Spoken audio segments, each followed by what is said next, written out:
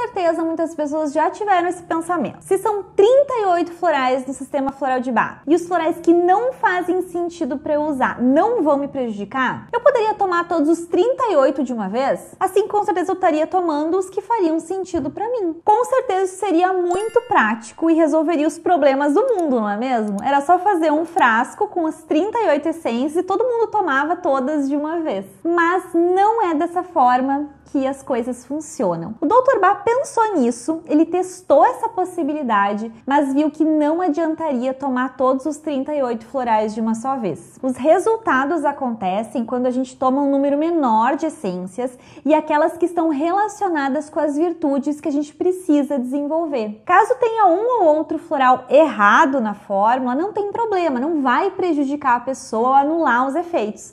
Mas quanto mais alinhada for a combinação de florais, melhores serão os resultados.